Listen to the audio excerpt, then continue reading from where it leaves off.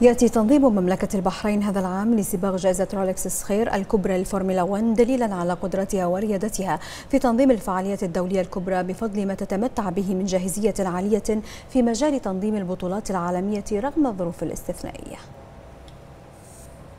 تعود حلبة البحرين الدولية والتي تعد موطن رياضة السيارات في الشرق الأوسط لصدارة الأحداث الرياضية بانطلاق سباق جائزة رولكس الصخير الكبرى للفورمولا 1 بين الرابع والسادس من ديسمبر الجاري.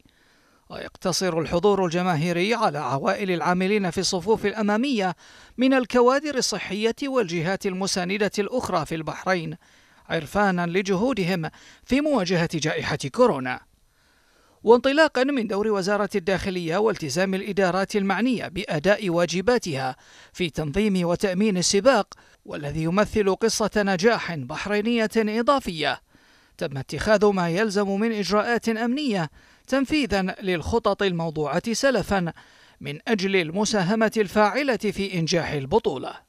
مديرية شرطة المحافظة الجنوبية مستمرة بتقديم آه، الخدمات الأمنية بالتنسيق والتعاون مع الجهات ذات الاختصاص في تنظيم سباق آه، الفورمولا 1 في حلبة البحرين الدولية وذلك من خلال توزيع الدوريات العامة على الطرقات العامة والفرعية لحلبة البحرين الدولية.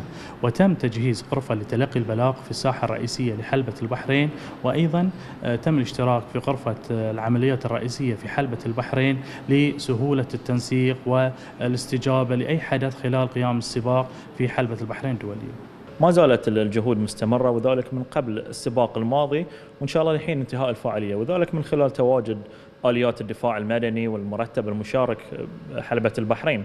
وذلك لضمان عدم نشوب لا سمح الله الحريق أو الحوادث سواء إذا كان داخل المضمار أو حتى المباني حلبة البحرين.